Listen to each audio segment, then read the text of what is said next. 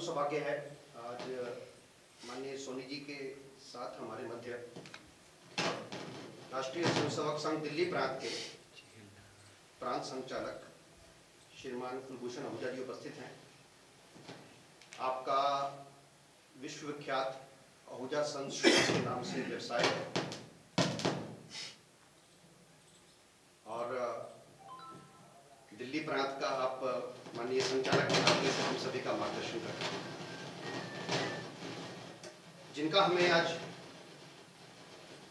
उद्बोधन और विचार सुनने को मिलेंगे, श्रीमान सुरेश सोनी जी, आपने अपनी एमए की पॉलिटिकल साइंस में पढ़ाई पूरी कर 1973 से आप संघ के पूर्णकालिक समय देने वाले प्रचारक बने। भिन्न भिन्न पदों पर रहे भिन्न भिन्न जिम्मेवारियाँ निभाई आपने। विभाग प्रचारक रहे, प्रांत प्रचारक रहे, अखिल भारतीय सह प्रचार प्रमुख रहे। 2003 से हम सभी का माननीय सह सरकार्यवाह के नाते से मार्गदर्शन कर रहे हैं। आपका ज्ञान और विज्ञान और अध्यात्म, इसके ऊपर बहुत अध्ययन है। और ज्ञान और विज्ञान को बहुत अच्छे ढंग से आप समावेश करते हैं और उसको जोड़ते हैं। महापुरुषों पे बड़ा ध्यान है। हम एक आत्म स्त्रोत्र जो पढ़ते हैं तो उसके अंदर जितने भी महापुरुष आते हैं तो उनके बारे में जानकारी रखना, उनके बारे में अलग अलग पूजा पद्धतियों के महात्मा हैं अलग अलग पूजा पद्धतियों के साधु संत हैं। सबकी जानकारी आपने बहुत अध्ययन करके उसका समावेश किया हुआ है। मैं श्रीमान सोनी जी से प्रार्थना करता हूँ। अपना उद्बोधन प्रारंभ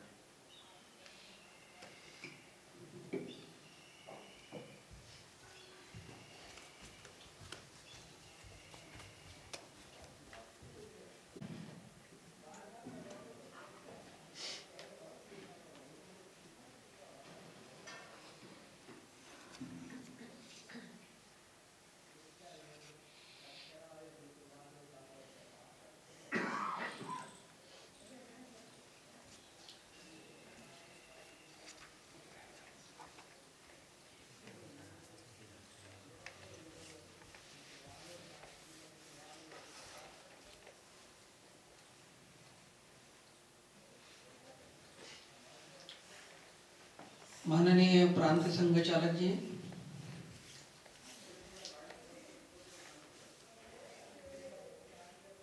और समाज की मूलभूत और आधारभूत और सर्वाधिक महत्वपूर्ण इकाई, यानी कुटुंब, परिवार इसके प्रबोधन के कार्य में लगे हुए सभी आदरणीय कार्यकर्ता बहनों तथा भाइयों,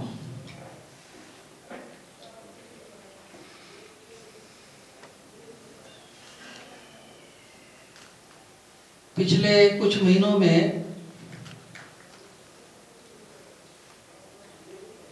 सारी दुनिया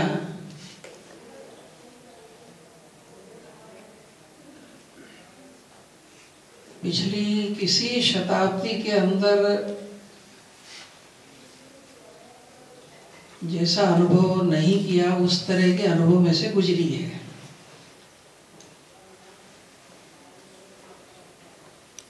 कोरोना नाम की महामारी विश्वव्यापी बनी, उसने सारे विश्व के जीवन को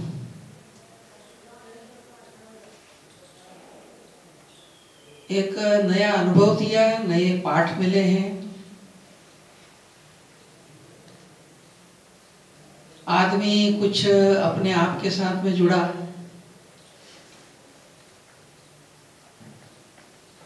परिवार के सदस्य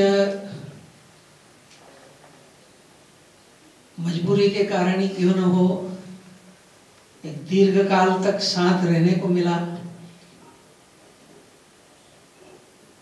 एक दूसरे को समझना, एक दूसरे के बीच के अनेकों कोई अंतराल हैं, विषय हैं। उस संदर्भ में भी प्रकृति को, शुद्ध प्रकृति क्या होती है? शुद्ध जल, शुद्ध वायु इसके भी अनुभव हुए।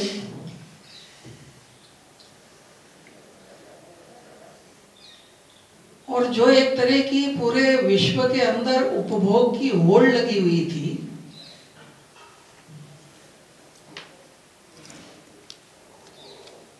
तो एक संयमित उपभोग से जीना, उसका भी एक अनुभव आया।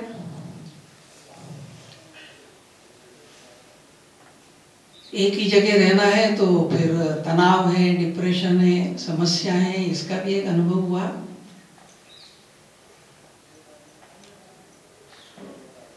और कुल मिलाकर एक सारे विश्व के अंदर हमारा सोच, हमारी जीवन शैली, हमारी विचार पद्धति, जीवन मूल्य इन सब के संदर्भ के अंदर एक पुनर्चिंतन की प्रक्रिया थोड़ी प्रारंभ हुई दिखती है। और भारत के लिए विशेष बात यह है कि भारत का दर्शन, भारत का जीवन मूल्य,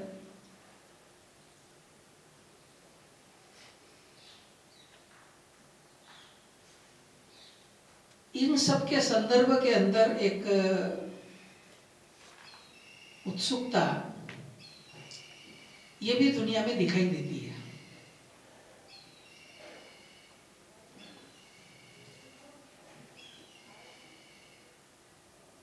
और इसलिए एक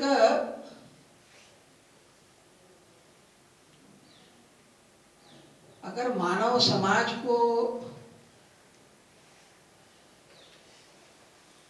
सुखी होना है तो उसका नमूना क्या हो सकता है? उसका मॉडल क्या हो सकता है?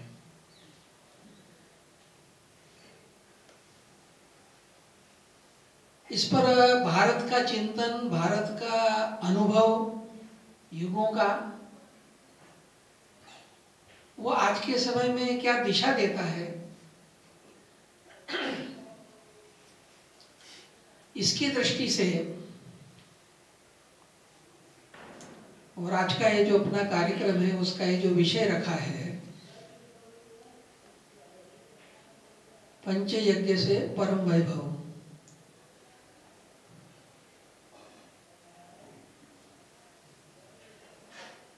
इस विषय के माध्यम से, इस समग्र विषय के ऊपर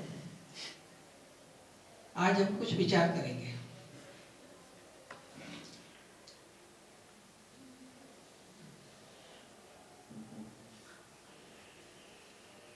हमारे जो पूर्वज थे ऋषि मुनि, उन्होंने जब दुनिया का विश्लेषण किया तो ध्यान में आता है कि ये जो सृष्टि है, इसमें चार प्रकार की दुनियाएँ हैं, चार तरह की सृष्टि है।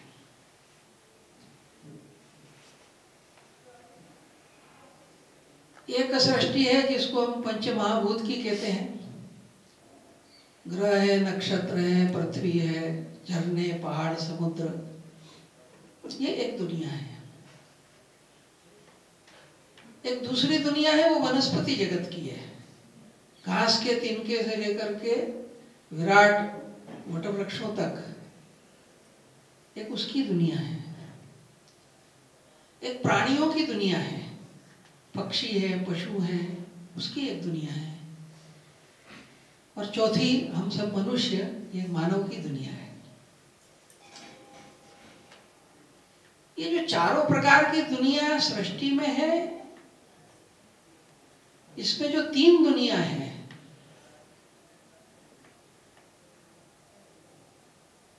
समुद्रों, पहाड़ों, पृथ्वी, ग्रह नक्षत्रों की दुनिया, वनस्पति जगत की दुनिया, और प्राणी जगत की दुनिया।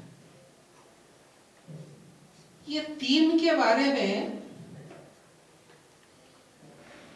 भगवान ने ऐसा किया है कि ये स्वतंत्र नहीं है। ये प्रकृति की मर्यादा में बंधे हुए हैं। वो मर्यादा तोड़ते नहीं है। तोड़ सकते भी नहीं है। वो उसी में जीते हैं। गाय के, बच्चे के चलने के लिए प्रकृति ने जो मर्यादा की है वो उसको उलट नहीं सकता। बोलने के लिए, बोली के लिए, जिस पशु पक्षी को जो बोली दी है भगवान ने, उससे भिन्न बोली वो बोल नहीं सकता। तो ये तीनों दुनिया जो है, ये तीनों दुनिया प्रकृति की मर्यादा लांगती नहीं है, इसलिए प्रकृति का वो नुकसान भी नहीं कर सकती। लेकिन ये जो चौथी दुनिया है मानव की, इस मानव को भगवान ने दो विशेषताएँ दी है। एक, ये स्वतंत्र है। इसके लिए हमारे शास्त्रों में वर्णन आता है कि उसको मुक्त इच्छा शक्ति दी है। वो मुक्त है। वो चाहे तो देवता बनने के लिए भी जा सकता है, वो चाहे तो दानव बनने के लिए भी जा सकता है। स्वतंत्र है वो। और दूसरा उसको विश्लेषण करने वाली बुद्धि दी है। वो बुद्धि का उपयोग बुरे के लिए भी कर सकता है, अच्छे के लिए भी कर सकता है। तो मर्यादा के प्रकृति की मर्यादा के परे जाना है। जैसे गाय का बच्चा पैदा होते ही चलता है, मानव का बच्चा चलना तो छोड़ो। पड़ा रहता है खाली। लेकिन मानव ने अपनी बुद्धि से, अपनी स्वतंत्र इच्छा शक्ति से, कल्पनाओं से ऐसी ऐसी चीज़ें ईजाद की कि वो केवल धरती पे ही नहीं तो पानी के अंदर और आकाश में सब तरफ़ दौड़ता है। कोयल का बच्चा कौए की बोली नहीं बोल सकता। गाय जो है वो बिल्ली की तरह म्याऊ म्याऊ नहीं कर सकती। लेकिन ये मनुष्य जिसको पैदा होने के बाद केवल रोना आता था, हंसना भी नहीं आता था। बोलना तो दूर की बात है। वह मानव धीरे धीरे इतनी भाषाओं का आविष्कार करता है, इतना ही नहीं तो आपने कई आदमी ऐसे देखे होंगे कि जो हर प्रकार के पशु पक्षी की आवाज़ गले से निकाल लेते हैं। मैंने एक आदमी ऐसा देखा था, वो अपने गले से हर प्रकार के वाद्य संगीत भी निकाल लेता था। वोकल भी गाता था और इंस्ट्रूमेंटल भी गाता था, गले से ही। ये कैसे संभव हुआ कि मर्यादा के परे जाने की सामर्थ्य है? और इसलिए जब हम कहते हैं कि इस दुनिया में कुछ संकट खड़े हो रहे हैं, समस्याएँ खड़ी हो रही तो उसका कारण कौन है? ये तीन सृष्टि में कोई कारण नहीं है। ये बिचारी मर्यादा में चलती है। समस्या की जड़ है, ये मानव, मनुष्य। इसलिए विश्व में अगर समस्याएँ भिन्न भिन्न प्रकार की है तो उसकी जड़ में कौन है? मनुष्य। और भिन्न भिन्न प्रकार की समस्याओं का समाधान भी अगर होता है तो उसके जड़ में कौन है? वो है मनुष्य। और इसलिए प्राचीन काल से हमारे पूर्वजों ने कहा कि ये जो मानव है, मनुष्य है, यह विकसित हो। इसके विचार विकसित हो। इसका हृदय संवेदनशील हो। और इस नाते से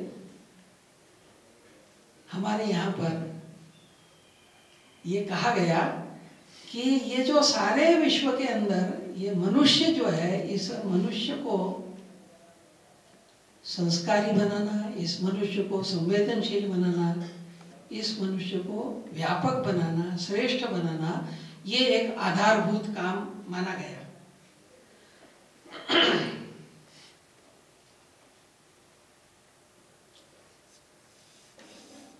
और इसकी प्रक्रिया का जो प्रारंभ होता है, इस सृष्टि की रचना में तो उसकी जो बिल्कुल आधारभूत पहली इकाई है, जैसे आजकल एक शब्द प्रयोग चलता है बिल्डिंग ब्लॉक कोई मकान बनता है तो उसकी जो आधारभूत इकाई है ईंट तो ये जो सारी सृष्टि है, इसका बिल्डिंग ब्लॉक क्या है?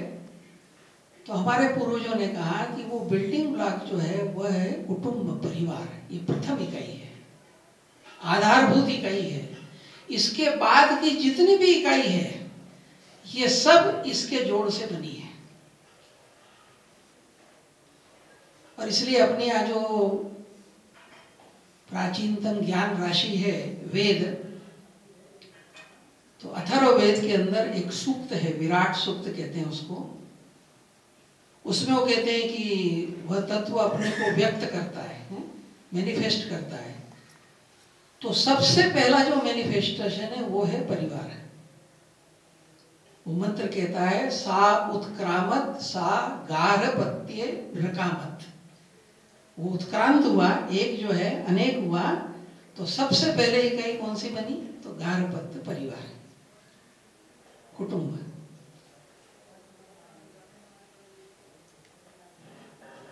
आगे की सारी रचनाएँ इससे बनी। और ये जो कुटुंब नाम की इकाई बनी, इसका आधार जो था, वो जितने लोग हैं, वो सब एक दूसरे के साथ आत्मीयता से जुड़े हुए एक दूसरे के पूरक, एक दूसरे को सहयोग करने वाले तभी परिवार बनता है। और इसलिए आगे की जो रचनाएँ, बड़ी रचनाएँ सृष्टि में बनी तो हमारे यहाँ ये जो परिवार भाव है, ये इसको आधारभूत माना गया है। और इसलिए ये जो परिवार भाव है, इसको विकसित करते हुए हर रचना को देखने का भारत ने एक दृष्टि दी। और केवल दृष्टि नहीं दी अपने जीवन में व्यवहार से बताया।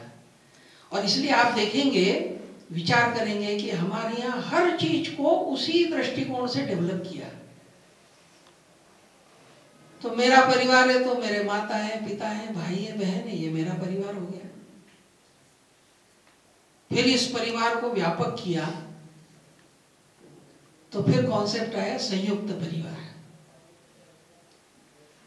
तो फिर मेरे काका हैं, काकी हैं, मामा है, मामी है, मौसा है, मौसी है, ननंद है, जेठ है, देवर है।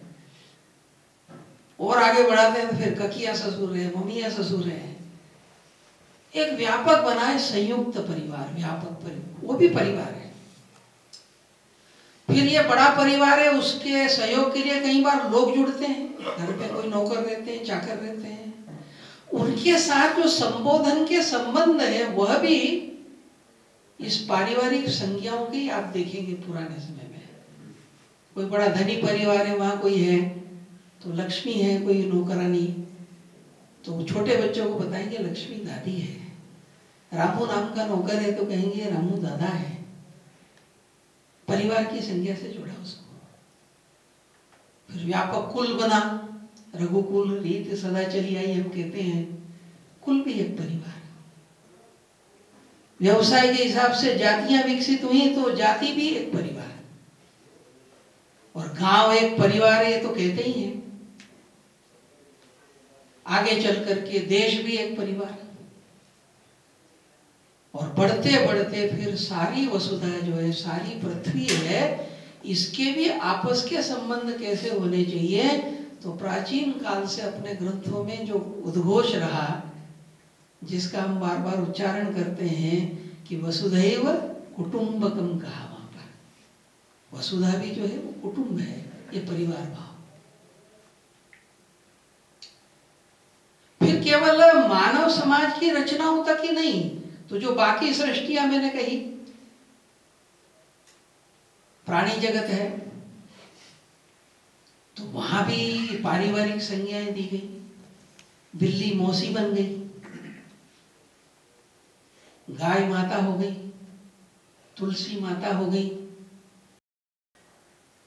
और इतने ही नहीं तो फिर ये जो जिसको जड़ सृष्टि कहते हैं, उसके साथ भी जो संबंध जोड़े गए, वो भी पारिवारिक थे। चंदा मामा हो गया, सूरज दादा हो गया जिन नदियों के किनारे सभ्यताएँ विकसित हुई, वे कल कल बहती नदियाँ जो हैं, काका कालेलकर ने उनके लिए लिखा, ये जितनी नदियाँ, ये सब लोक माताएँ हैं। और फिर सारी सृष्टि जिन चीज़ों के जोड़ से बनी है, जो पंच महाभूत हम कहते हैं। आकाश है, वायु है, अग्नि है, जल है, पृथ्वी है। इनके साथ भी मेरे संबंध क्या हैं? इसको महान योगी भरतरी, जिनके बहुत प्रसिद्ध तीन शतक हैं, नीति शतक, श्रृंगार शतक और वैराग्य शतक। तो वैराग्य शतक के अंत में, आखिर में, इन पंच महाभूतों के साथ मेरे क्या संबंध है उसको बताते हुए भरतरी जो कहते हैं, वहाँ भी पारिवारिक संज्ञाएँ हैं। वो कहते हैं, माता मेदिनी तात मारुत, सखे तेज सुबंधो जल भ्रातर व्योम निबद्ध एव भवताम अंत्य प्रणमांजलि। माता मेदिनी पृथ्वी मेरी माँ है। तात मारुत, वायु जो है, ये पिता है।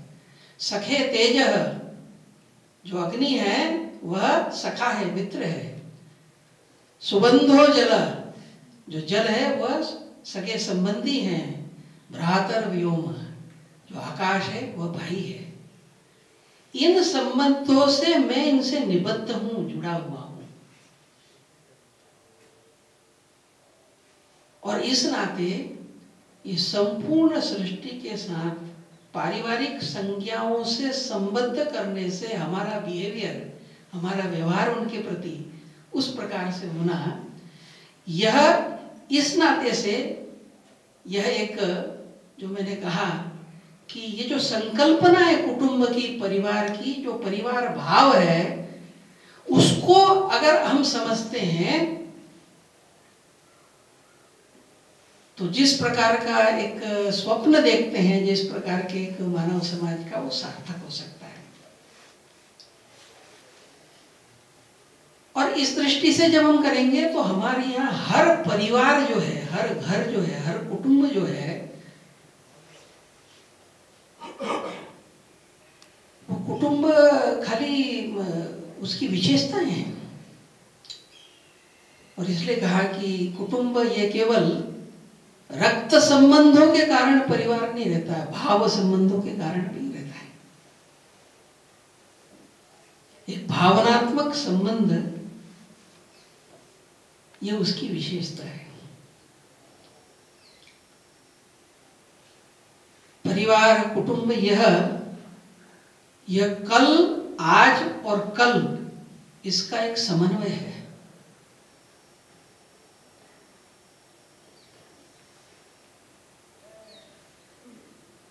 बीता हुआ कल हमारे दादा आज जो वर्तमान में माता पिता हैं और आने वाला कल जो भावी पीढ़ी है नहीं।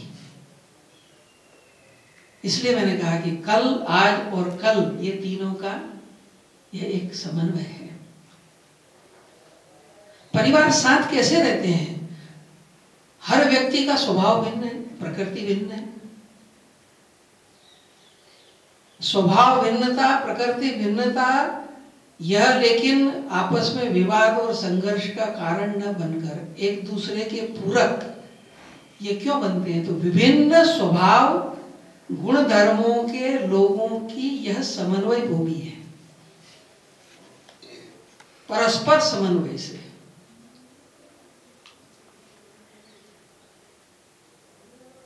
परिवार हमारे यहाँ पर यह आत्मीयता, सम्मान और श्रद्धा के साथ जीवन जीने का एक केंद्र है।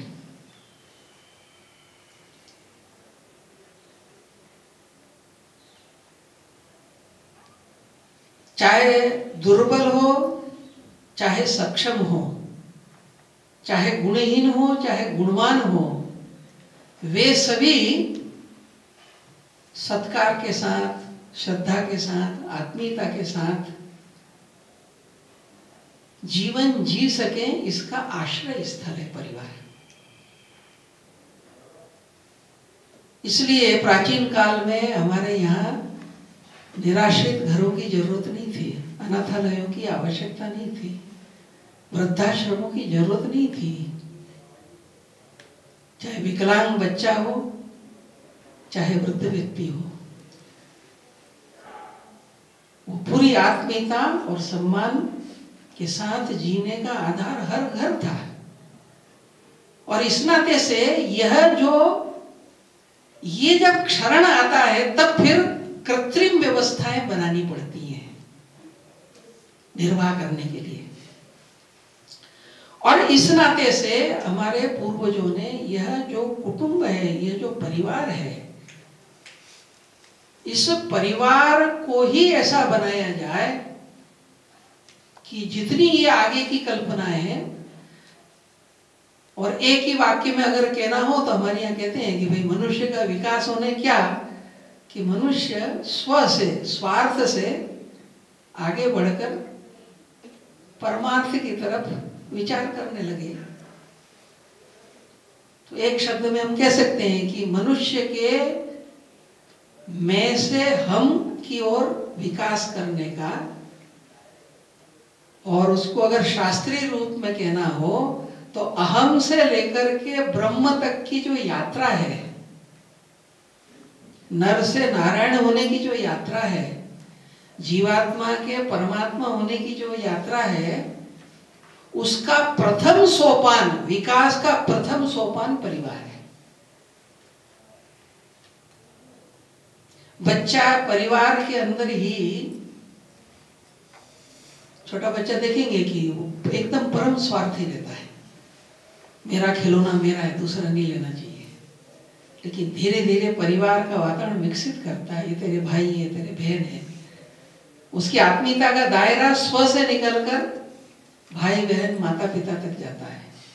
इस तरह से प्रक्रिया आगे बढ़ती है और इसलिए कहा कि मानव के विकास का यह एक प्रथम सोपान है। इस दृष्टि से और इसको व्यवहार में अगर लाना है तो हमारे यहाँ पर कहा गया कि दो चीज़ें हैं जिसके द्वारा यह संभव हो सकता है। एक, सबसे पहले मनुष्य जो है, वह भावनात्मक दृष्टि से और विचारों की दृष्टि से इस प्रकार का बनना चाहिए।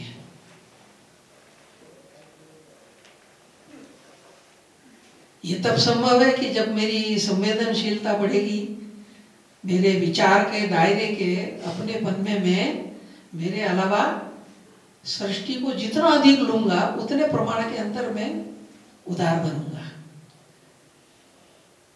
यह जिससे संभव है, उसको कहा गया हमारे यहाँ पर संस्कार।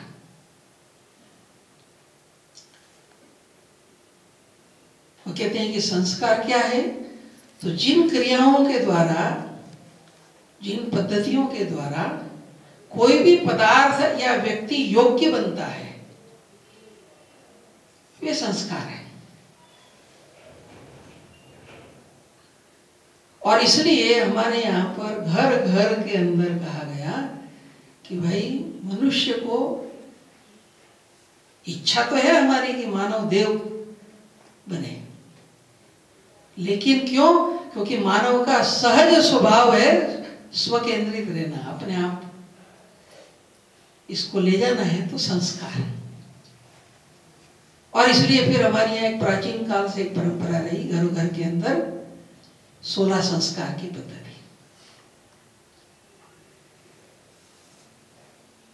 तो एक विषय है संस्कार, जो भावना से और विचार से हमको ये करता है। लेकिन केवल भावना और विचार ही पर्याप्त नहीं है वो क्रिया में आना चाहिए, वो व्यवहार में आना चाहिए, वो हमारे आचार में आना चाहिए। वहाँ भी ज़रूरी है। इसलिए हमारे यहाँ पर कहते थे कि जो शुद्धि होना चाहिए तो तीन प्रकार की शुद्धि होना चाहिए जीवन में।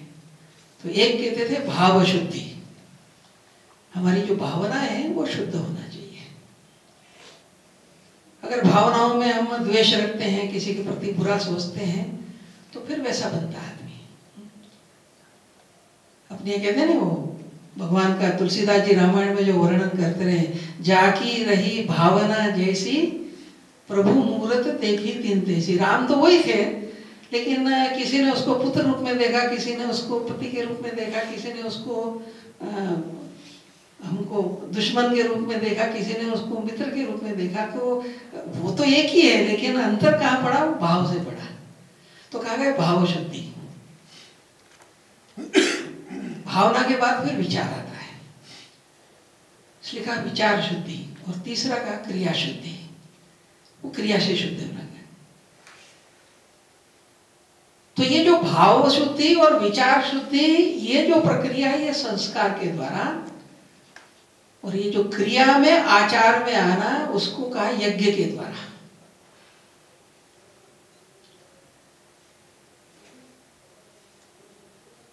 और इसलिए हमारा सारा जो ढांचा खड़ा हुआ, यानी किसी जमाना आज भी कहते हैं ना, जो लोग याद करते हैं कि भाई भारत के लोगों का, समाज का जो जीवन है, दो अनुभव दुनिया करती है। इस दुनिया में इस्लाम मतानुयायी प्रबल बने और दुनिया में फैले तो उसका भी दुनिया को अनुभव आया। यूरोप की ताकतें प्रबल हुई, और वो भी दुनिया में फैली। उसका भी दुनिया को अनुभव है। दोनों अनुभव क्या है? तो एक ही प्रकार का अनुभव है सब तरफ़, कि लूटपाट हुई कॉलोनिया बनाई, शोषण किया, यही किया। लेकिन इन लोगों के उठने के पहले हज़ारों साल भारत के लोग भी सारे विश्व में गए लेकिन उसका अनुभव क्या है? तो लोग कहते हैं कि उसका अनुभव है कि कहीं पर भी उन्होंने विनाश नहीं किया। जो जहाँ था, उसको वहाँ से ऊपर उठाया। जिनको खेती नहीं आती थी, उनको खेती सिखाई। जहाँ पर शिक्षा नहीं थी, वहाँ पर शिक्षा दी। जहाँ पर सांस्कृतिक जीवन मूल्य नहीं थे, वहाँ इसलिए आज भी दुनिया के भिन्न भिन्न देशों के अंदर भारत के प्रति जो पुराना व्यवहार है, उसके प्रति एक आदर का भाव है। ये कैसे उत्पन्न हुआ? ये दो चीज़ों के द्वारा।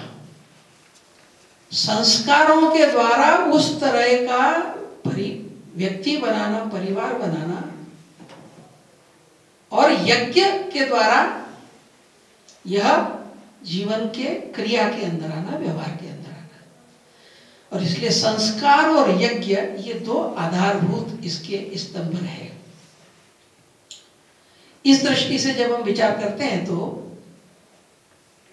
ये जो यज्ञ है, यज्ञ कहते हैं, हमारे दिमाग में एक चित्र उभर आता है।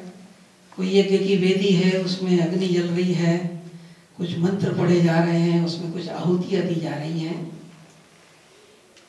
लेकिन हमारे यहाँ यज्ञ शब्द जो है यह बहुत व्यापक अर्थ में प्रयुक्त हुआ है। यह जो यज्ञ वेदी में अग्नि के अंदर यज्ञ करते हैं, ये उसका एक रूप है। लेकिन यज्ञ मतलब उतने ही मात्र नहीं है। उसका जो आधार है तो यज्ञ में एक विशेष बात है कि जब आहुति भी जब देता है तो आप कभी कभी सुनते होंगे कि जब वो आहुति देता है, जैसे अग्नि को आहुति दी तो क्या बोलता है? इदम अग्नि इदन मम। वो जो आहुति दे रहा है, वो कहेगा, यह अग्नि का है, यह मेरा मेरा नहीं है ये। तो किसी भी इंद्राय स्वाहा अगर कहेंगे तो इदम इंद्राय इदन मम। राष्ट्राय स्वाहा, हमने कहा तो इदम राष्ट्राय इदन मम। गुरु जी का एक फ़ोटो हमने देखा ना, उसमें नीचे यज्ञ में आहुति दे रहे थे इदम राष्ट्राय इदन मम। यह जो यज्ञ परंपरा है तो यज्ञ जो था वास्तव में यह कर्तव्य कर्म। कर्तव्य कर्म के रूप में यज्ञ था। भगवान कृष्ण ने और बहुत अच्छे ढंग से ये सारा विषय जो है, ये भगवत गीता में समझाया है। भगवान उसमें पहला करते हैं कि सारी दुनिया क्या है, कैसे बनी? तो हम कहते हैं कि भाई, प्रजापति जो सृष्टि का ये हुआ तो भगवान कहते हैं कि सह यज्ञ प्रजा सृष्टवा पूर्ववाच प्रजापति। यानी भिन्न भिन्न समाज, मानव समूह जो उत्पन्न हुए तो सहयज्ञ प्रजा सृष्टवा हरेक अपने अपने कर्तव्य कर्मों के साथ में यह प्रजा जो है, यह। इसलिए हरेक के अपने अपने कर्तव्य कर्म यह यज्ञ के रूप में कहा गया। फिर दूसरी बात कही गई कि सारा जगत जो है वह यज्ञमय ही है। गीता में एक साइकिल का वर्णन करते हैं भगवान। अन्नात भवंती भूतानी। मनुष्य उत्पन्न क्यों होता है? माता पिता के संसर्ग से और वो कि, वो किस लिए होता है? अन्न के कारण से। तो भूत की उत्पत्ति अन्न के कारण से अन्नात भवंती भूतानी पर्जन्यात अन्न संभव वर्षा से अन्न उत्पन्न होता है। यज्ञात भवती पर्जन्य यज्ञ से, यज्ञा कर्म समुद्भव, कर्म से वो होता है, कर्म ब्रह्म से होता है। कर्म ब्रह्मोद्भवम विद्धि, ब्रह्माक्षर समुद्भवम और आखिर में फिर कहा, तस्मात सर्वगतम ब्रह्म नित्यम यज्ञ प्रतिष्ठितम। यह जो सर्वव्यापक ब्रह्म यह भी नित्य रूप से यज्ञ में प्रतिष्ठित है। संपूर्ण सृष्टि का आप साइकिल अगर देखेंगे तो इसी में से है वो। एक दूसरे का निर्भरता, एक दूसरे के पोषण, उसी से दुनिया चल रही है। उसको ब्रेक कर दो आप। वनस्पति जगत कार्बन डाइऑक्साइड छोड़ता है ऑक्सीजन लेता है। प्राणी जगत ऑक्सीजन लेता है कार्बन डाइऑक्साइड छोड़ता है। ये साइकिल बना हुआ इसलिए जीवन है। इस जीवन को आप तोड़ दीजिए। तो समस्या खड़ी होने लगती है। इसलिए कहा कि यज्ञ जो है, ये सर्व और फिर दूसरी बात उसके अंदर आगे चलकर कही गई कि यह जो यज्ञ भावना से किया हुआ कर्म जो है, यह बंधन का कारण नहीं बनता है। जैसे हम कहते हैं कभी स्वार्थ से किया हुआ कर्म हमको बंधन में डालता है, परमार्थ से किया हुआ काम जो है, यह हमको देवत्व की ओर ले जाता है, मुक्ति की ओर ले जाता है। एक अंग्रेज़ी में एक सूत्र कहते हैं कि भाई, देवत्व सभी चाहते हैं। तो इसका उपकरण क्या? तो गणित की भाषा में उसने एक सूत्र बताया। बोले non self upon self is equal to divinity निस्वार्थता बटे स्वार्थ बराबर देवत्व। पर होगा कैसे? तो बोले इंक्रीज द न्यूमरेटर ये जो नॉन सेल्फ है, निस्वार्थता, इसको इंक्रीज करो और डिक्रीज द डिनोमिनेटर और जो स्वार्थ है, मैंपन है, अपना, उसको थोड़ा रिड्यूस करो। ये दो चीज़ करोगे तो यू रीच डिविनिटी आप जो है, देवत्व के निकट पहुँच जाएँगे। ये जो प्रक्रिया है तो इसलिए कहा, भगवान कहते हैं यहाँ पर यज्ञार्थात कर्मणो अन्यत्र लोको यम कर्म बंधना यज्ञ भाव से जो भी कर्म आप करते हैं, वो मुक्ति का कारण है। और उससे भिन्न केवल स्वार्थ के लिए किया हुआ है, वो बंधन का कारण है। और इसलिए वो कहते हैं, अर्जुन को कि इसलिए यज्ञार्थात कर्म लोको यम कर्म बंधना तो इसको समझकर तुम अपने जीवन के अंदर व्यवहार करो। अब यज्ञों के बहुत सारे नाम आते हैं अपने प्राचीन काल के अंदर? ये जो मैंने कहा, आहुति वाले यज्ञ हैं, उसके भी अनेकों वर्णन हम लोग पढ़ते हैं। युधिष्ठिर ने राजस्व यज्ञ किया, राम ने भी राजस्व यज्ञ किया। तो राजस्व यज्ञ का वर्णन आता है। नचिकेता यम की कथा जो हम पढ़ते हैं तो वाजस ने यज्ञ किया। है अश्वमेघ यज्ञ है, फिर पुत्र कामेष्टि यज्ञ, अनेक प्रकार के स्रोत यज्ञ हैं, सोम यज्ञ हैं, बहुत सारे यज्ञ हैं। लेकिन जिसकी हमको आज मुख्य रूप से जो अपना विषय है, वह यह पंच यज्ञ और ये पंच यज्ञ क्या, बाकी सब यज्ञ और इनके अंदर अंतर क्या है? तो ये जो पंच यज्ञ है, ये हमारे यहाँ कहा गया कि यह बिना किसी उसके भेदभाव के, यह प्रत्येक गृहस्थ के करने का की अनिवार्यता है। हर एक गृहस्थ को करना चाहिए। हर गृहस्थ, हर परिवार अगर ये पंच यज्ञ करता है तो जो हम एक सुंदर, समन्वयुक्त, समृद्ध सृष्टि की कल्पना करते हैं, वो साकार हो सकता है। और एक विशेष बात है, ये जितने मैंने पहले यज्ञ के नाम लिए, वो सब में यज्ञ शब्द है। राजस्वी यज्ञ, अश्वमेघ यज्ञ श्रोत यज्ञ वगैरह वगैरह। लेकिन प्राचीन काल से ये जो हर घर के अंदर पाँच यज्ञ हैं, ये इनको यज्ञ नहीं कहा गया, इनको कहा है महायज्ञ। शतपथ ब्राह्मण नाम का ग्रंथ है, जिसमें वो कहते हैं कि हर ग्रस्त को यह पंच महायज्ञ करना चाहिए।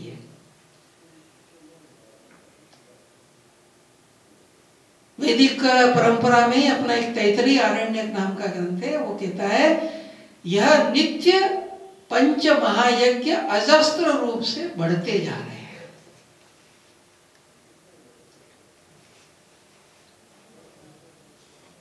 ये पंचयज्ञ क्या है? तो एक कहा गया ब्रह्म यज्ञ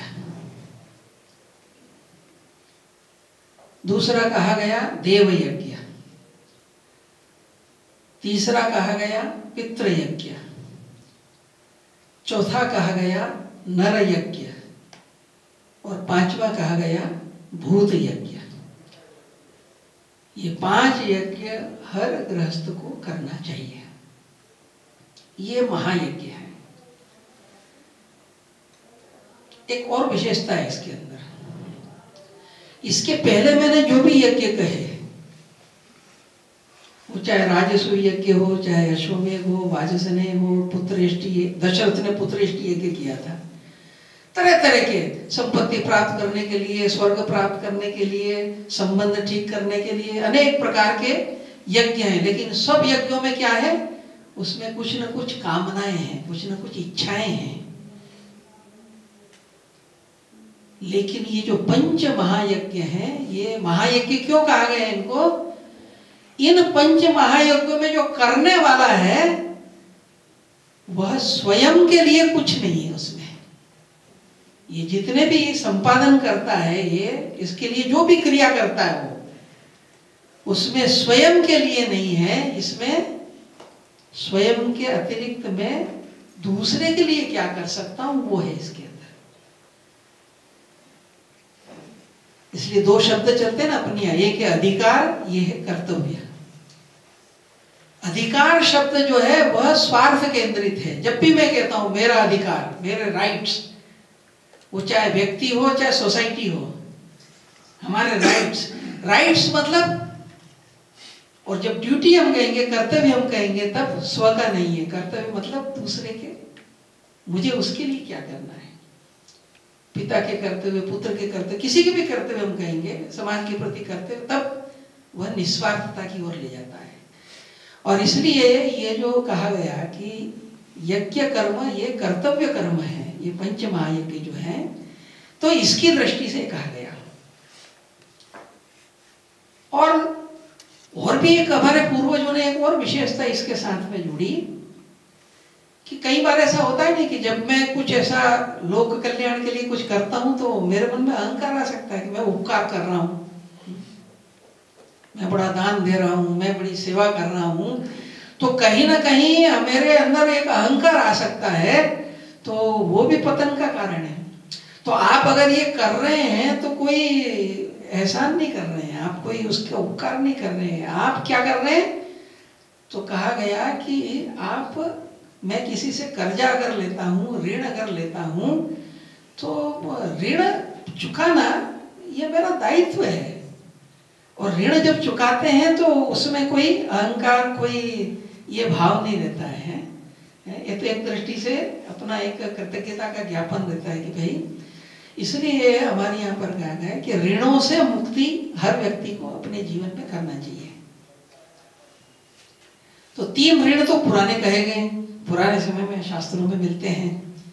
एक कहते हैं कि मनुष्य जो जन्म लेता है तो उसके साथ, तीन ऋण उसके साथ जुड़े हुए हैं। एक है देव ऋण। भिन्न भिन्न देव शक्तियाँ हैं, भिन्न भिन्न शक्तियाँ हैं तो एक देव ऋण है। एक है पितृ ऋण और एक है ऋषि ऋण। ये जो तीन ऋण है, इसमें आधुनिक समय के अंदर एक दो ऋण मैंने और जोड़े इसके साथ। हम अकेले नहीं रहते हैं, या हमारा जो परिवार है, वो भी ये अकेला नहीं रहता है। हम एक समूह में रहते हैं, समाज में रहते हैं। इसलिए एक ऋण हमारे ऊपर है, समाज का ऋण, समाज ऋण है। और दूसरा, हम जो जीते हैं तो आखिर जल, वायु फल, कंद, मूल, अन्न, सब चीज़ों के द्वारा तो इनके द्वारा ही हमारा अस्तित्व है, इसको हम कहते हैं सृष्टि। और इसलिए सृष्टि का भी ऋण है हमारे इसलिए देव ऋण है, पितृ ऋण है, ऋषि ऋण है, समाज ऋण है और सृष्टि का ऋण है। ये जो पंच ऋण है, इनसे मुक्त होने का प्रयत्न करना, यानी ये पंच महायज्ञ है।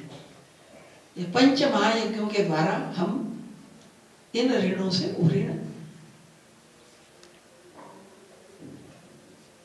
एक और बात इसमें आज के समय में विचार करने की है कि हमारी जो संस्कृति है, उसको हम कहते हैं सनातन है ये। तो सनातन ने क्या? तो सनातन की एक परिभाषा करते हैं कि सनातन का मतलब है चिर पुरातन नित्य नूतन। प्राचीन से प्राचीन अगर विचार करोगे तो वो मिलेगा। और नए से नया नूतन का विचार करोगे तो वर्तमान में भी प्रासंगिक है। तो हमारी इसलिए हमारे यहाँ कहते हैं सनातन धर्म, सनातन संस्कृति, सनातन परंपरा। और जब सनातन है तो क्या होगा कि संज्ञाएँ तो पुरानी रहेंगी, लेकिन इंटरप्रिटेशन नहीं रहेंगे। यज्ञ शब्द तो पुराना रहेगा, लेकिन यज्ञ परफॉर्म करना, उसमें नई चीज़ें जुड़ती चली जाएँगी। और ये होता ही है कि कुछ चीज़ें शाश्वत रहती हैं, कुछ चीज़ें बदलती हैं। रामकृष्ण मिशन के बहुत बड़े सन्यासी हुए, स्वामी रंगनाथानंद जी। तो भारत के दर्शन, संस्कृति, परंपरा, उस पर बहुत अच्छे व्याख्याकार थे। तो उनके जो भाषणों का संकलन छपा तो क्योंकि कुछ चीज़ें तो शाश्वत है अपने उपनिषद उस काल से आज तक सारे विश्व को प्रेरणा दे रहे हैं, वो शाश्वत है। लेकिन स्मृतियाँ तो बदलती रहती है। आचार व्यवहार, वेशभूषा खान पान ये परिस्थिति के अनुसार परिवर्तित होते रहते हैं, नियम। तो उसका जो शीर्षक रखा, उनके जो संकलन का, उसका नाम था eternal values in a changing society परिवर्तनशील समाज के लिए शाश्वत जीवन मूल्य। समाज परिवर्तित होता है, तकनीकी बदलती है, जीवन शैली बदलती है, परिस्थितियाँ बदलती है। उस बदलते हुए सामाजिक परिवेश के अंदर जो शाश्वत जीवन मूल्य शाश्वत परंपराएँ हैं, उनको व्याख्यायित करके व्यवहार में लाना। इसी दृष्टि से यह, ये जो संस्कार और पंच महायज्ञों की जो प्राचीन शाश्वत परंपरा है, उसको वर्तमान युग के अंदर एक तरह से उसको प्रचारित, प्रसारित और जीवन के व्यवहार में लाने की दृष्टि से आज विचार करने की आवश्यकता है। इस दृष्टि से हम और ये जो हरेक यज्ञ है, उसका आज के परिप्रेक्ष्य में विचार करना। तो जब हम सब कुटुंब प्रबोधन के कार्यकर्ता हैं तो इस दृष्टि से इनके बारे में हम थोड़ा एक विचार, आने वाले समय के अंदर इसको हमको देना। और ये एक प्रतीकात्मक जब बन जाता है कि भाई ये पंच ऋण है और ये पंच महायज्ञ है और ये हरेक को अपने अपने यहाँ पर इनको करना है, इसकी दृष्टि से और करनी जब चिंतन हम करेंगे तो अनेकों बातें हो सकती हैं। कुछ प्रतीकात्मक रूप में कुछ बातें आपके सामने इसकी मैं रखता हूँ। यह जो ब्रह्म यज्ञ है,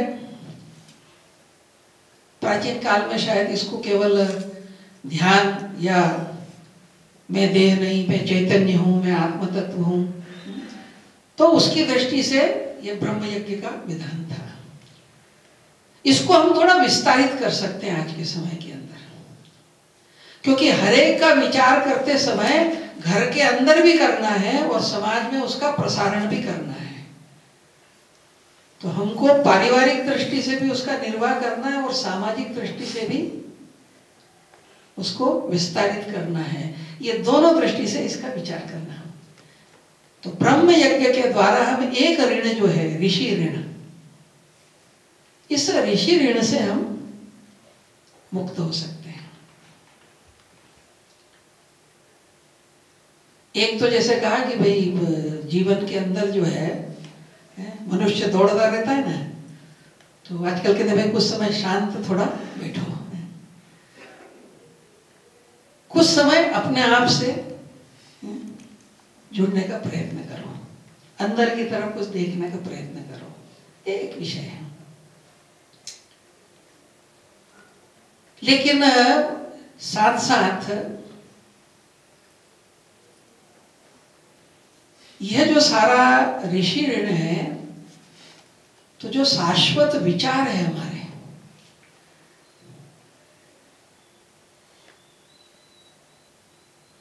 ये जो हमारे शाश्वत विचार है, इन शाश्वत विचारों को आने वाली पीढ़ी के अंदर संप्रेषित करना। तो घर में हमारे बच्चे हैं तो इनको जो है वो जो हमारे आधारभूत ग्रंथ हैं, हर घर के अंदर हमारे शाश्वत आधारभूत ग्रंथ उपलब्ध होना चाहिए। एक ही प्रकार ज़रूरी नहीं है, जिसकी जैसी श्रद्धा रुचि है। वेद है, उपनिषद है, रामायण है, महाभारत है। जैन समाज के बंधु होंगे तो उनका जो मूल ग्रंथ है तत्वार्थ सूत्र। भक्तांबर वो रखें बौद्ध कम से कम धम्मपद, सिख का बंधु है तो ग्रंथ साहब रहेगा लेकिन हर घर के अंदर, अभी एक सर्वे हुआ बीच में, उड़ीसा के अंदर घर घर का जब सर्वे हुआ, आश्चर्य लगा कि हज़ार घर देखे होंगे तो ढाई सौ से ज़्यादा घर ऐसे मिले जिस घर के अंदर एक भी धार्मिक ग्रंथ नहीं है। तो हम कहेंगे कि सनातन काल से जो प्रेरणा देता रहा, लेकिन तो हर जगह ग्रंथ रहना। आने वाली नई पीढ़ी है, कुछ परंपरा डालना ऐसी कि अपने जो नई पीढ़ी है, वो धीरे धीरे उसको कुछ जाने। नागपुर में वर्णेकर जी करके हैं तो उनकी बहू जो है, उनका पोता है। तो वो मानो बाहर है तो वो व्हाट्सएप पे प्रतिदिन भगवत गीता का एक श्लोक उसको भेज दिया। अगले दिन फिर उसको पूछेंगे कि कहा तुमने ये किया? फिर दूसरा, फिर तीसरा। अभी अभी अपने सरकारी मनमोहन वैद्य उनके पूज्य पिता बाबूराव जी वैद्य अभी शांत हो गए। हर चातुर्मास के अंदर, कई बार सोचते चातुर्मास ये साधुओं का काम है, सन्यासियों का काम है। वेद्य जी चातुर्मास के अंदर परिवार के और अपने आसपास सब लोगों को ला करके जो अपने शाश्वत ये ग्रंथ, धार्मिक ग्रंथ, सदग्रंथ, इनका वाचन व्याख्या इसकी प्रक्रिया करते रहते हैं। तो एक इसकी दृष्टि से विचार करना। तो सत साहित्य जो है, वह घर घर के अंदर जाए। और हम एक दृष्टि से इसका युगानुकूल, इसकी व्याख्या की दृष्टि से, बच्चों में, युवकों में, कोई लिख सकता है तो लेखन के रूप में, कोई बोल सकता है तो भाषण के रूप में। व्यापक बनना है मनुष्य को। तो जो जीवन के दोष है, ये तुरना चाहिए। हम कहते हैं, भाई, परमात्मा सबके अंदर है, लेकिन अस्पर्शता का भाव बना हुआ है। किसी जमाने में तो जाति की अस्पृश्यता थी। धीरे धीरे ये होने लगा कि व्यवसाय के भी अंदर ऊँचे नीचे हो गए। मेरे पिता का नाई का काम है और मैं एम एम एस सी हो गया। तो नाई का काम मुझे छोटा लगने लगता है। धंधे भी छोटे बड़े हो गए। और बात करेंगे हम हम्म, समत्व की है। तो ये ये तो कोई ब्रह्म की ओर ले जाने का मार्ग नहीं हुआ। इसलिए ये दोषों का परिमार्जन है इसकी दृष्टि से भी चिंतन यानी सद संस्कार इसलिए हमारे यहाँ पर ये जो संस्कार का वर्णन किया गया ना, उसके बारे में कहा गया कि दोष अपनयन, जो दोष है वो निकलना और गुणाधानम, जो गुण है वह आना। ये जो प्रक्रिया है तो इसकी दृष्टि से छोटी छोटी चेष्टाएँ हमने करना इसका अगर हम थोड़ा विचार करते हैं तो यह वर्तमान युग के अंदर ये जो ब्रह्म यज्ञ है, शीर्षक ब्रह्म यज्ञ लेकिन उसके अंतर्गत इसको हम लेते हैं। तो एक हम देखेंगे कि एक प्रकार का एक परिवर्तन हमको आने वाले समय के अंदर दिखाई दे सकता है। दूसरा जो है वह है पितृ ऋण तो उसके लिए कहा गया पितृ यज्ञ साधारणतः हमारी धारणा क्या परंपरागत रूप से पितर पितर यानी जो दिवंगत हो गए। और उसके लिए अपने समाज जीवन के अंदर एक श्राद्ध की परंपरा एक श्राद्ध पक्ष आता है, उसमें हम पूर्वजों का स्मरण करते हैं। ये तो एक एक भाग है। लेकिन जैसा मैंने कहा, युगानुकूल परिवर्तन। जब पितृ हम कहते हैं, पूर्वज हम कहते हैं तो फिर हम उसको व्यापक एक अर्थ दें वर्तमान समय के अंदर। तो पितृ यानी फिर माता पिता जब पितृ ऋण कहा जाता है तो वो पितृ मतलब शब्द प्रयोग करेगी इसका मतलब माँ बाहर नहीं, उसमें से। तो माता पिता और दादा दादा जितने भी पूर्वज हो गए, वो भी है। हम उसको और भी व्यापक कर सकते हैं कि केवल हमारे ही पूर्वज नहीं तो समाज में जो भी श्रेष्ठ महापुरुष हो गए, ये सभी हमारे हैं तो पितृ ऋण की मुक्ति दीजिए जो पितृ यज्ञ है, इसके स्वरूप को हम थोड़ा व्यापक कर सकते हैं। पहली जो सबसे बड़ी आवश्यकता है कि एक पुरानी परंपरा थी हमारे यहाँ पर, कि हमारे यहाँ कहते थे ना कि भाई सात पीढ़ी सात पीढ़ी, इसकी चर्चाएँ चलती है। आजकल तो इतना छोटा परिवार हो गया न्यूक्लियर फैमिली कि पिता के अलावा तो कुछ देखा ही नहीं देता है। दादा भी बड़ा मुश्किल रहता है। पड़दादा तो बड़ी दूर की बात हो गई। कि हमारे यहाँ कहते थे सात पीढ़ी। और सात पीढ़ी केवल कहते ही नहीं थे। तो हर जनरेशन कम से कम अपनी सात पीढ़ी तो याद रखे। मेरा जन्म गुजरात में हुआ। छोटा था। हमारे घर में परंपरा थी। मैं जब छोटा था, जब मुझको सिखाया आज, वो आज तक मुझे याद है। तरह तरह के तरीके होते थे। तो एक छोटी सी नामों की कविता जैसी बनाई और बच्चों को याद कराते थे हम लोगों को। उदाहरण के लिए, मेरा नाम सुरेश है तो वो सात पीढ़ी याद कराते थे हमको। सुरेश चंद्र, जयंती लाल जयंतीलाल जयंतीलाल रणछोड़ रणछोड़ मलुपचंद मलुपचंद मोती मोती माऊजी माऊजी जेठा। जेठा या सातवीं पीढ़ी हो गए। अब जेठा कहाँ से आए तो उसको एक विनोद उसके साथ जोड़ देते थे। कि गुजराती में बोलते थे कि जेठा बादल माथी पीड़ा हेठा यानी बादल में से नीचे गिरे लेकिन सात पीढ़ी याद हो गई एक यूरोप में बहुत प्रसिद्ध उपन्यास हुआ, रूट्स नाम से। अलेक्स हेली नाम का लेखक था। अफ्रीका से किसी से आए होंगे, अफ्रीकन, काला अमेरिकन था वो। लेकिन हम आए कहाँ से? हमारी जड़ें कहाँ हैं? उसकी जिज्ञासा हुई उसको। वो तो आधुनिक अमेरिका में पैदा हुआ। और खोजते खोजते खोजते, पूर्वज पूर्वज करते करते वो अफ्रीका के जिस देश के अंदर जहाँ से वो रूट थी, और इस पूरी कैसी यात्रा चली हमारे समाज की, उस पर उसने उपन्यास लिखा, उसका नाम रखा रूट्स जड़े। बहुत पॉपुलर हुआ वो। उस पर एक फ़िल्म बनी। वो फ़िल्म बहुत व्यापक बनी। परिणाम कैसा होता है? गुजरात के एक युवक ने वो फ़िल्म देखी। तो उसको लगा कि इतना रूट्स जाए तो मेरे पूर्वज को नहीं है मुझको ही नहीं पता है। तो अमेरिका से वापस जब गुजरात आया तो कहा कि पूर्वज जानने का तरीका, आजकल तो हम भूल गए, लेकिन पहले परंपराएँ थी, हर घर में, हर जगह कहीं पंडा कहते थे, कहीं बारोट कहते थे, हैं? पोथी लिखने वाले, जब पैदा होता वैसे लिखते हैं। न जाने कितनी सदियों की, पीढ़ियों की जानकारी आपको मिल जाएगी। तो अपना पंडा कौन है, वो बारोट कहते हैं गुजरात में तो बारोट को ढूंढ के गया वो।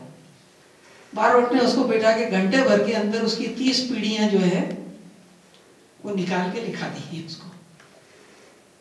मैं वेरावल में गया था एक कार्यकर्ता के घर में तो वहाँ देखा उन्होंने एक, अपने घर में एक चित्र लगा रखा है वंश वृक्ष किनका? उनका।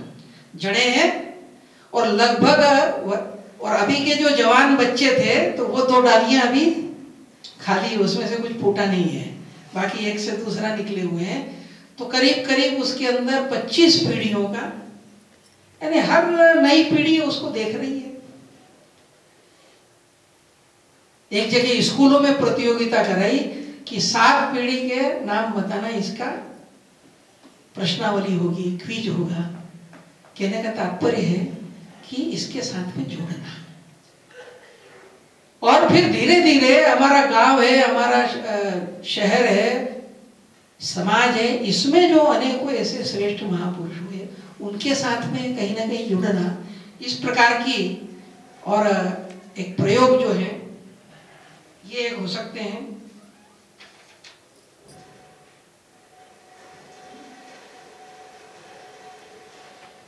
दूसरी जो बात है कि धीरे धीरे नई जनरेशन के अंदर अपने जो बुज़ुर्ग हैं उन सबके प्रति एक आदर का, उनके प्रति उसके भाव को उत्पन्न करने का, उन परंपराओं को निभाने का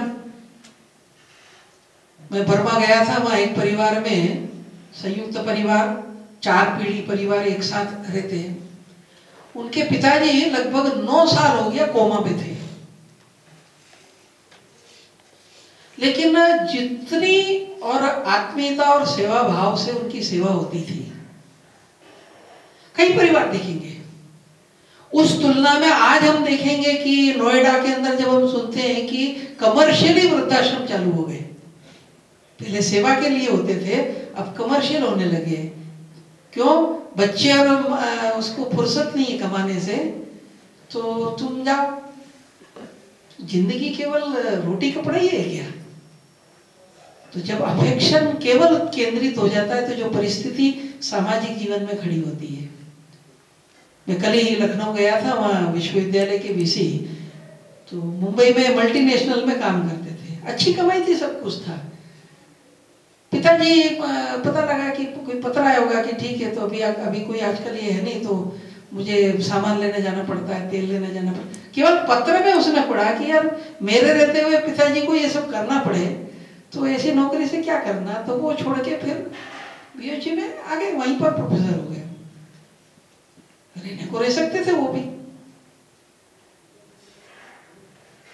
तो पितृयज्ञ जब हम कहते हैं तो घर के जो बुज़ुर्ग, वो सम्मान के साथ में, आदर के साथ में, बाकी के साथ में जी सके इसकी दृष्टि से कुछ परंपराएँ जो है, वो एक विकसित करना। और कुछ जो है, वो अपने यहाँ पर छोटी छोटी आदतें डालने का प्रयत्न करना। पुराने प्रसंग हम बहुत सुनते हैं, आशुतोष मुखर्जी हाईकोर्ट के जज थे। रोज़ाना माँ के पैर दबाते थे। किसी समय में लॉर्ड करजन थे उस समय वाइस राय तो एक, उसके लिए उन्होंने वाइस राय ने उनको कहा, इंग्लैंड जाने के लिए। तो उन्होंने कहा कि ठीक है तो माँ को पूछा उन्होंने। माँ की तबीयत ठीक नहीं थी। तो बोले, तू बेटा इंग्लैंड जाएगा तो मेरी कौन चिंता करेगा? तो आशुतोष मुखर्जी ने वायसराय को लिख दिया कि मेरी माँ ना कह रही है। तो मैं नहीं जाऊँगा। तो लॉर्ड कर्जन ने उनको कहा कि माँ से कहो कि भारत का वाइस राय आदेश दे रहा है। तो आशुतोष मुखर्जी ने कहा कि वाइस राय से बड़ा आदेश मेरे लिए मेरी माँ का है। नहीं गए वो? अपनी अभी सुप्रीम कोर्ट के जो जज हुए लाहौटी जी, है, छोटी सी बात। चीफ जस्टिस की शपथ लेने के बाद उनकी वृद्धा माँ जो वहाँ शपथ ग्रहण समारोह में थी। वो शपथ लेने के बाद नीचे उतरे। बाकी राष्ट्रपति, प्रधानमंत्री, सबसे बाद में, सबसे पहले जाके अपनी वृद्धा माँ के पैर छुए। जो परंपराएँ रहती हैं, वो संक्रमित होती हैं पीढ़ी दर पीढ़ी।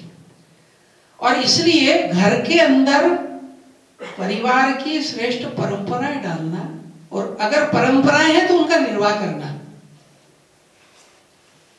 नानाजी देशमुख ने प्रकल्प खड़ा किया दीनदयाल शोध संस्थान। उनके मन में आया था कि आयुर्वेद के रिसर्च का यहाँ कुछ बनना चाहिए। जे आर डी टाटा से उनकी अच्छी मित्रता थी। तो जे आर डी टाटा को उन्होंने कहा कि ये बिल्कुल टाटा के आखिरी दिन की बात है, लगभग वो। तो वर्बल बातचीत हुई केवल, जिसको अपन कहते हैं ना मौखिक। तो उन्होंने कहा कि ठीक है, मैं पाँच करोड़ रुपए इसके लिए दूँगा। लेकिन बात थी और योग ऐसा हुआ कि उसके एक कुछ दिन बाद में जे आर डी टाटा की मृत्यु हो गई। रतन टाटा मुखिया बने उस समय। तो उनकी विधि के अंदर नाना जी गए थे, तब तो कुछ नहीं, लेकिन फिर एक आध महीने के बाद वो रतन टाटा से मिलने गए, ये सोच करके कि तो नाना जी ने जैसे ही बात चालू की कि मेरे पास कोई लिखित प्रमाण तो नहीं है, लेकिन मेरी जेआरडी से बात हुई थी तो पूरी बात भी रतन टाटा ने करने नहीं दी उनको।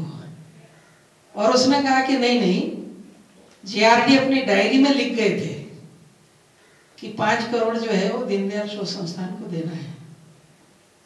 तो मैंने दो करोड़ का चेक तैयार रखा है, आप ले जाइए, बाकी मैं पंद्रह दिन में भिजवा दूँगा। अपन कभी कभी कहते हैं नहीं कि किए हुए दस्तावेज़ जुठला देता आदमी। लेकिन अगर परंपराएँ ठीक हैं, भाव ठीक हैं तो खाली कहा हुआ वचन यह भी तो जिस प्रकार के एक आदर्श समाज की, मानव समाज की चर्चाएँ होती हैं, वो करना है। तो ये परिवार के अंदर श्रेष्ठ परंपराएँ डालना और परंपराएँ हैं, उसकी कंटिन्यूटी देना। इंटरप्रिटेशन बदलते जाएँगे उसके। तो इसकी दृष्टि से और एक प्रयत्न होना तो ये जो पितृ यज्ञ है, इसको हम एक नया, एक डायमेंशन देते हुए इस दिशा के अंदर एक प्रयत्न कर सकते हैं। तीसरा जो है, वह एक जो हम कहते हैं कि देव यज्ञ ये सभी चीज़ों के लिए कहते हैं ना कि जो एक, जो संस्कार आदि हैं, वो तो भाव जगत के ऊपर ही होते हैं, भावना के ऊपर ही होते हैं। तो कुछ ना कुछ और उपासना है। अपने कहते हैं ना, स्तोत्र है, प्रार्थनाएँ हैं, कुछ ना कुछ पूजा है। इसकी परंपराएँ बने। और बच्चे जो हैं, उनको कुछ अच्छे भगवान के स्तोत्र हैं। विभिन्न देवों का जो परिचय है। गीता प्रेस गोरखपुर ने बहुत अच्छी एक एक देव के बारे में छोटे छोटे बच्चों को जानकारी, दृष्टि से, चित्रमय, अनेक प्रकार की आजकल और टेक्नोलॉजी के द्वारा भी बहुत कुछ उपलब्ध है। और देव यानी एक देव के साथ साथ देव यह एक प्रकार की शक्तियाँ हैं। सरस्वती देवी है तो विद्या की देवी के रूप में हमने माना है, यम है तो मृत्यु के देवता के रूप में माना है। इंद्र जो है, सूर्य जो है तो ये जीवन देने वाले हैं। चंद्रमा जो है तो वह औषधियों के अंदर, सारा बीमार अगर आदमी होता है, ठीक होता है तो उसके पीछे चंद्रमा है।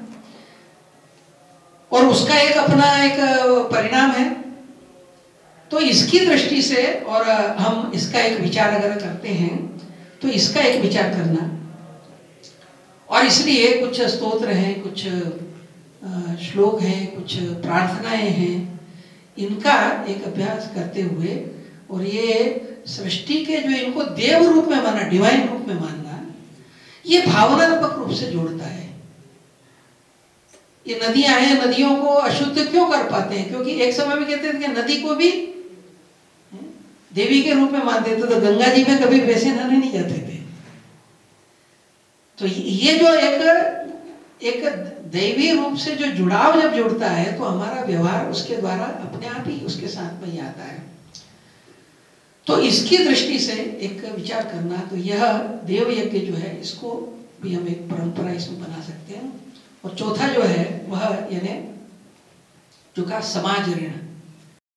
समाज का जो हमारे ऊपर ऋण है तो नर यज्ञ कहा गया तो नर यज्ञ में एक परंपरा थी कि भाई, हर गृहस्थ के लिए नियम था कि भाई भोजन के पहले, उस जमाने के अंदर तो घर के बाहर आकर वो तीन बार बोलता था, कोई भोजन नहीं किया, ऐसा है क्या। इसलिए पुराने जमाने में रेस्टोरेंट और होटल नहीं थे। क्योंकि ज़रूरत ही नहीं थी। कहीं भी चले जाओ, आप टाइम है तो वो सबसे पहले पूछेगा, भोजन हुआ है क्या? आपको जानना पहचान कुछ नहीं है। इसलिए तीर्थ यात्रा पर भी जाते थे तो गाड़ी के अंदर सारा तीन महीने का और सब लाद के नहीं जाना पड़ता था। जो जहाँ जाता था, उसको मिल जाता था। लेकिन चलो, अभी समय बदला है तो बदले समय के अनुरूप हम ये नर कि इसका स्वरूप बदल सकते हैं। एक हो सकता है कि हर घर के अंदर एक परंपरा की भोजन हम करते ही हैं तो कम से कम एक मुट्ठी कोई भी अनाज वो एक निकालने की पद्धति डालें। और मास के अंत में जहाँ ज़रूरत है, कोई ऐसी बस्ती है, वहाँ दे दें, कोई छात्रावास है, कोई इस प्रकार के अनाथालय हैं, कोई अन्य अन्य जगहें हैं तो वहाँ पर हम इसको दे सकते तो इसकी दृष्टि से एक एक प्रयत्न हो सकता है।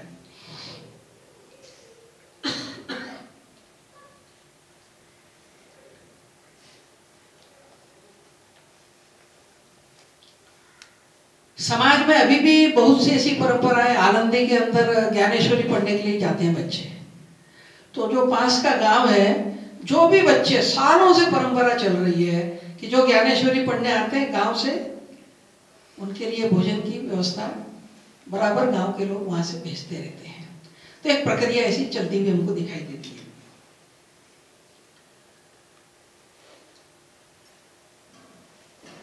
मेरा, अभी मैं मेरे गाँव गया था, गुजरात जहाँ मेरा जन्म हुआ तो वहाँ दो अपने कार्यकर्ता हैं।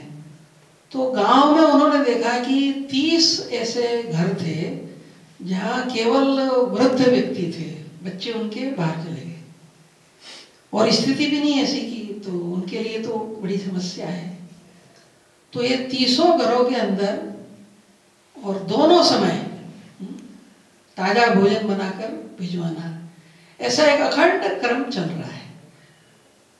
उसके लिए लोग उसके अंदर सहभागी हो जाते हैं। तो ये जो समाज का जो ऋण है, ये नर यज्ञ जो कहा कि मनुष्यों की चिंता। तो इस रूप के अंदर ये कर सकते हैं। और दूसरा, समाज का ऋण अगर उतारना है तो जो हमारा घर है तो हमारे घर के अंदर, हमारा घर एक आदर्श घर बने। इसमें आदर्श नागरिक बने। तो इसकी दृष्टि से हम अगर प्रयत्न करते हैं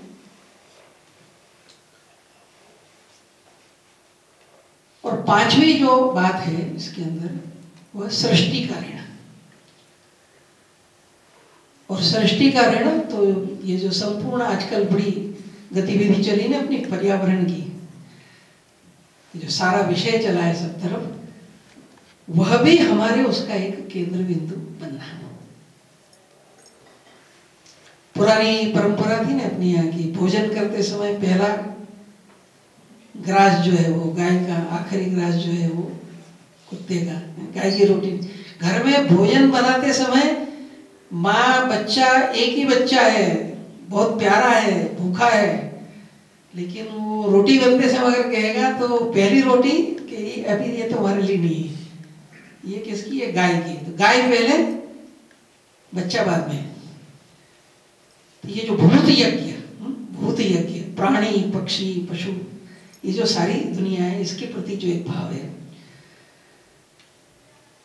आजकल हम मान लो शहर के अंदर रहते हैं तो आजकल छोटे छोटे चले ना कि कहीं वैसे तो पक्षी दिखते नहीं है। लेकिन अगर कहीं पक्षी कहाँ जाए वो?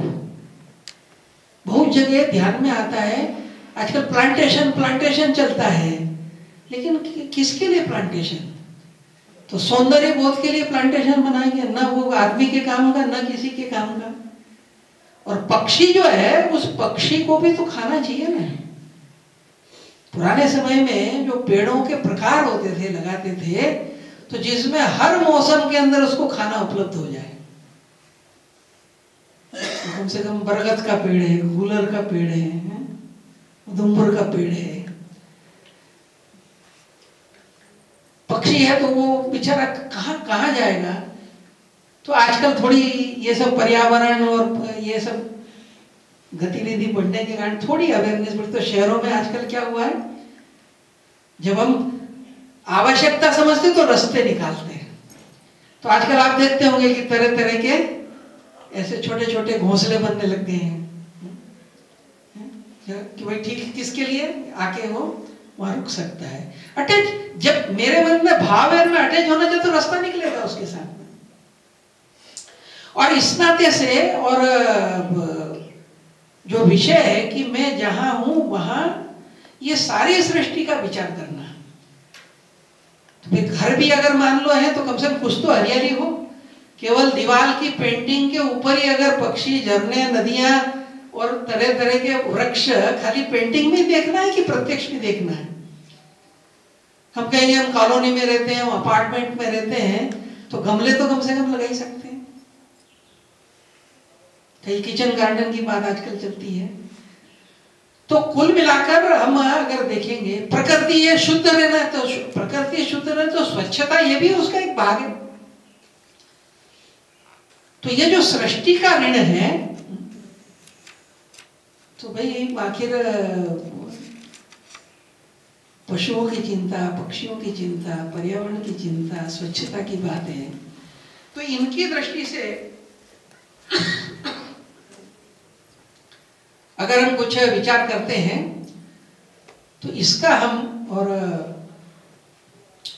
और जल के जो स्रोत हैं, जल संरक्षण की चर्चाएँ चलती हैं, कुल मिलाकर जहाँ कहीं भी हमारे आसपास कई बार हमको पता लगता है कि भाई ठीक है, कहीं कोई कुआ रहा होगा, कोई बावड़ी रही होगी, हम उनको रिवाइव कर सकते हैं क्या? हमारे यहाँ अगर अनावश्यक जल बहता है तो उसको कहीं ना कहीं सुरक्षित रखने की व्यवस्था कर सकते हैं क्या? धीरे धीरे जो वर्षा का जल आता है, उसकी दृष्टि से हम कर सकते हैं क्या? तो ये जो कहा गया कि ये जो पंच महाभूत है पृथ्वी है, जल है, इन सबके प्रति वर्तमान समय के अनुकूल छोटी छोटी गतिविधियाँ। एक परिवार के रूप में मैं क्या कर सकता हूँ और मेरे आसपास के पड़ोस में क्या कर सकता हूँ? और ये केवल वर्णन करने के लिए नहीं, एक दो बातें कि मैं समाप्त करूँगा। स्वामी विवेकानंद, भगिनी निवेदिता ने लिखा है कि स्वामी विवेकानंद जहाज़ के ऊपर अपने शिष्यों के साथ यात्रा कर रहे थे। और एक दिन बहुत गहरे ध्यान के अंदर डूबने के बाद वो जागृत हुए तो डेक पर आए और अपने सब उनको बुला करके, शिष्यों को बुलाकर उन्होंने कहा कि जो मुझे साक्षात्कार हुआ तो एक वाक्य प्रयोग उन्होंने किया कि अगर पंच महायज्ञों की जो परंपरा थी, उसे मॉडर्न टाइम के अनुकूल, उसका वाइब्रेंट इंटरप्रिटेशन जीवंत उसकी व्याख्या हमारे एजुकेशन सिस्टम का अगर अंग बनती है तो उन्होंने शब्द प्रयोग कि जो नेशन रीजनरेशन का हमारी कल्पना है, राष्ट्र के पुनरुत्थान की, उसकी गति अनेक गुना बढ़ जाएगी। हम सब लोग भी राष्ट्र के पुनरुत्थान में जिससे संपूर्ण विश्व का ये कल्याण कर सके, उसके लिए प्रवर्त हम सब कार्यकर्ता लोग हैं। इसलिए हम सब एक व्यक्ति या परिवार के नाते ही नहीं तो हम सबका एक संगठक का भी रोल है। और इस नाते हम सब कुटुंब प्रबोधन के कार्य में लगे हुए कार्यकर्ता हैं। स्वयं एक उदाहरण बने और एक संगठक के नाते इस प्रकार की रचना खड़ी करें। इस दृष्टि से इन चीज़ों को बढ़ाने के नाते कुछ आधारभूत बातें हर घर के अंदर हो उस दिशा में प्रयत्न करें।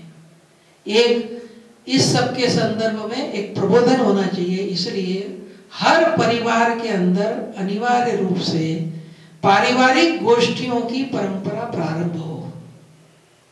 हर परिवार साप्ताहिक रूप से बैठना, इन सब चीज़ों के बारे में चिंतन करना, इसकी एक परंपरा एक प्रारंभ हो परिवार में सभी स्तर के लोग हैं। समय समय पर उनको इन श्रेष्ठ बातों की जानकारी की दृष्टि से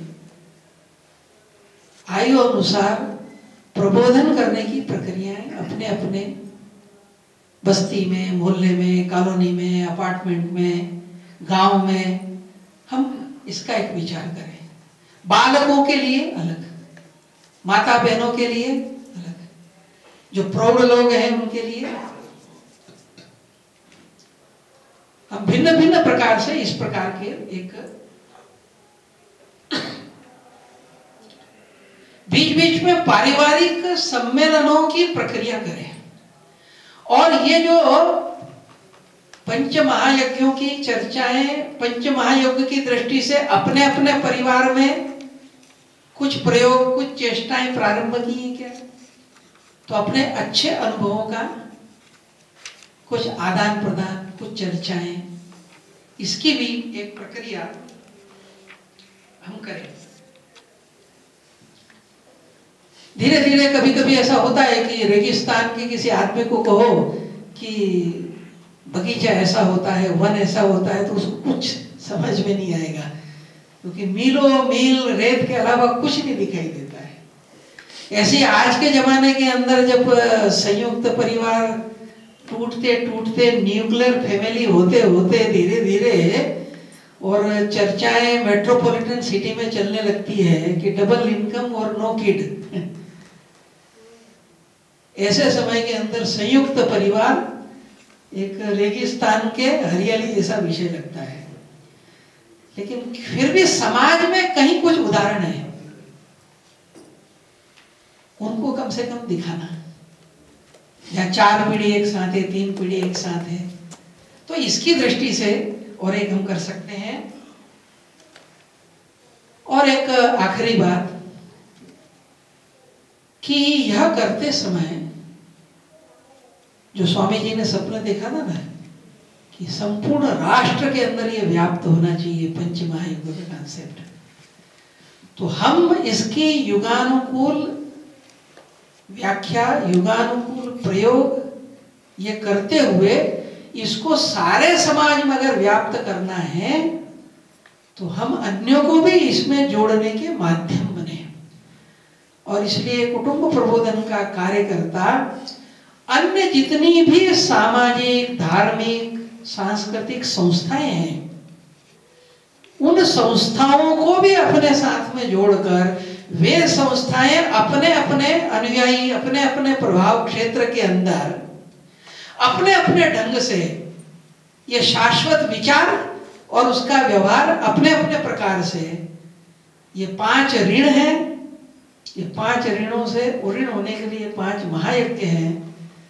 इसकी दृष्टि से अगर प्रक्रियाएँ प्रारंभ होती हैं और यह गाँव में, नगर में, अपार्टमेंट में कॉलोनी में, पहाड़ में, वनवासी क्षेत्र में, रेगिस्तानी इलाकों में, सब तरफ़ अगर ये एक प्रवाह का रूप लेती है तो जो स्वामी जी ने एक स्वप्न देखा था कि नेशन रीजनरेशन, राष्ट्रीय पुनरुत्थान, और वो इसलिए कि संपूर्ण विश्व का भी कल्याण अगर होना है, मानव जाति को भी अगर सुख शांति से रहना है तो जो महान जीवन मूल्य इस देश ने दिए थे, जिसको हम कहते हैं ना कि एक ही श्लोक में जो कहा गया हमारे यहाँ कि मात्रवत परदारेशु प्रवत परद्रव्येशु लोष्टवत आत्मवत सर्वभूतेशु यह पश्यति स पंडिता।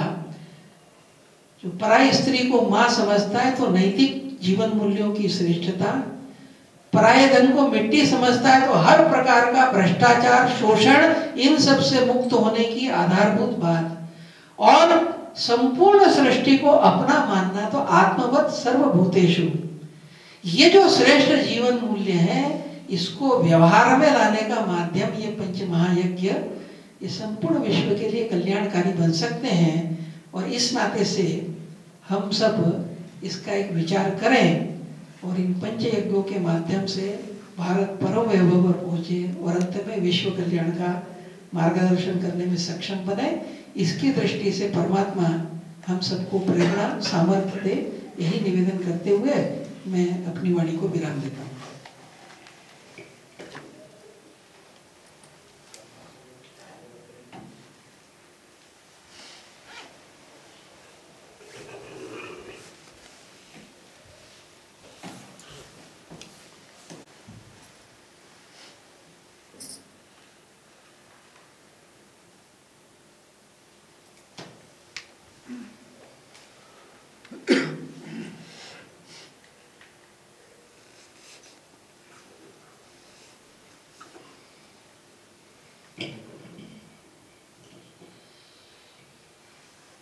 इस सभा में उपस्थित सभी महानुभाव का मैं धन्यवाद करता हूँ कि आज सभी यहाँ उपस्थित होकर कुटुंब प्रबोधन की गतिविधि के अंतर्गत प्राण टोली ने जो सहभागिता दिखाई और आज हमारा सौभाग्य है कि माननीय सोनी जी से हमें मार्गदर्शन भी प्राप्त हुआ और मैं से हम के सफ़र के अंदर आगे बढ़ने का एक मार्ग भी अच्छा मार्ग भी हमें दिखाया। और आशा करता हूँ कि सभी हम लोग अपने से शुरू करके समाज के अंदर उदाहरण बना पाए। और उदाहरण प्रस्तुत करेंगे तो ये सारी कल्पना सृष्टि में नज़र आनी शुरू हो जाएगी। ऐसा मेरा विचार है। और पुण्य आप सबका धन्यवाद करता हूँ कि आज सब यहाँ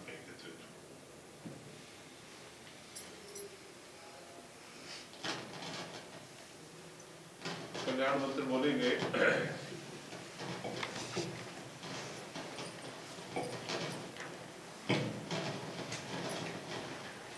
अभी आदि पंक्ति में बोलूँगा उसके बाद, प्रारंभ से सांगी बोलेंगे। सर्वे भवन्तु सुखिनः। सर्वे भवन्तु सुखिनः। सर्वे सन्तु निरामयाः